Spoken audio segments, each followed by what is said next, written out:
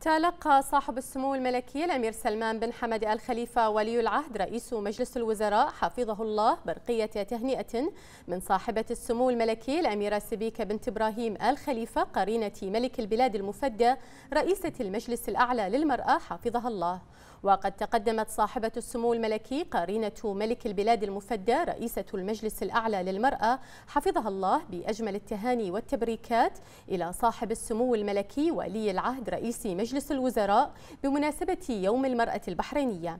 وقالت سموها إن مناسبة يوم المرأة البحرينية تحل على مملكة البحرين هذا العام بالتزامن مع الذكرى العشرين لتأسيس المجلس الأعلى للمرأة. الذي شهدت أعماله ولله الحمد العديد من الإنجازات المباركة والتي يعود فضلها من بعد الله لما تشهده وتحظى به المرأة البحرينية من رعاية واهتمام ودعم وطني غير مسبوق يتمثل في الرؤية السامية لحضرة صاحب الجلالة الملك حمد بن عيسى آل خليفة عاهل البلاد. البلاد المفدى حفظه الله ورعاه ولما يوليه سمو ولي العهد رئيس مجلس الوزراء من دور مبارك ومساع مخلصة في مساندة ومعاونة العاهل المفدى تجسيدا لتلك الرؤية الرحبة التي تأخذ بالبحرين إلى ما تصبو إليه من رفعة ورخاء ونهضة. داعية سموها العلي القدير أن يحفظ سمو ولي العهد رئيس مجلس الوزراء ويمن على سموه بموفور الصحة والعافية ويسدد خطى سموه على طريق الخير وبناء الحاضر والمستقبل المشرق لمملكة البحرين.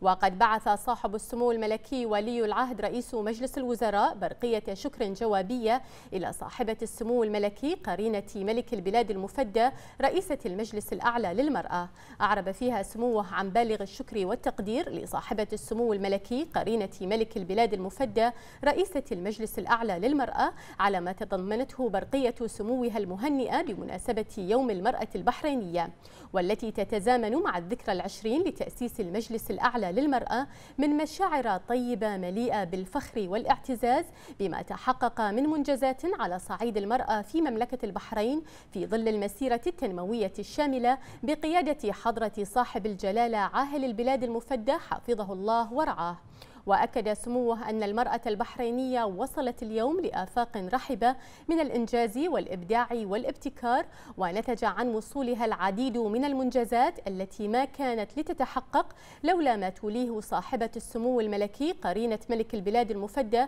رئيسة المجلس الأعلى للمرأة من حرص على بلوغ الطموح المنشود عبر إتاحة الفرص النوعية لها بمختلف صورها لافتا سموه إلى أن الجهود التي يقوم بها المجلس الأعلى للمرأة ستكون على الدوام محط الدعم والاهتمام لكل ما من شأنه تحقيق الازدهار والنماء للوطن وأبنائه.